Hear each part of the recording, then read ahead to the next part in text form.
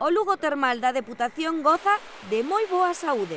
Eh, hai mes e medio prácticamente que arrancamos e prácticamente pues, están todas as plazas eh, ocupadas. ¿no? O presidente provincial visitou os participantes que se benefician deste programa no balneario de Augas Santas en Pantón.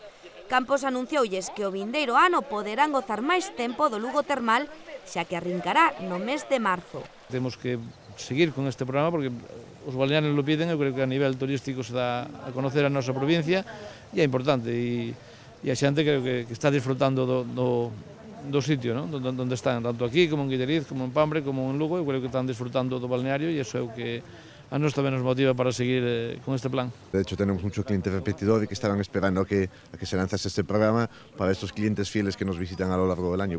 O director e responsables do balneario amosaron ao presidente o alcalde de Monforte a dinámica das sesións que se ofrecen en paquetes de cinco días e que están dirixidas a maiores de 55 anos.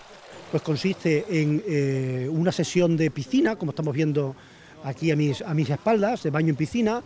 Hacemos después una aplicación a presión, que en este caso es una ducha circular, que es una técnica que uno se coloca en una sala y sale agua todo alrededor caliente, y después unas estufas húmedas, que son unas salas calientes con algo de humedad, y un pediluvio posteriormente, para hacer un, para hacer un contraste.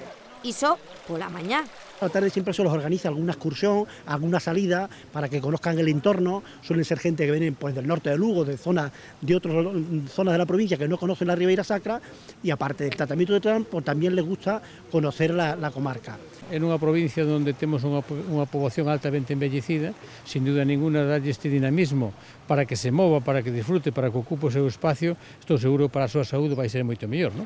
O certo é que estas augas sulfuradas con bicarbonatado sódico son realmente beneficiosas para patologías comuns a estas idades. Tienen beneficio para procesos reumáticos, para procesos respiratorios y para procesos de piel.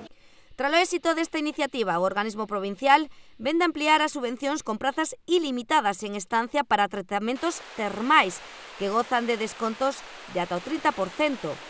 O Lugo Termal desenvolvese en todos os balnearios da provincia.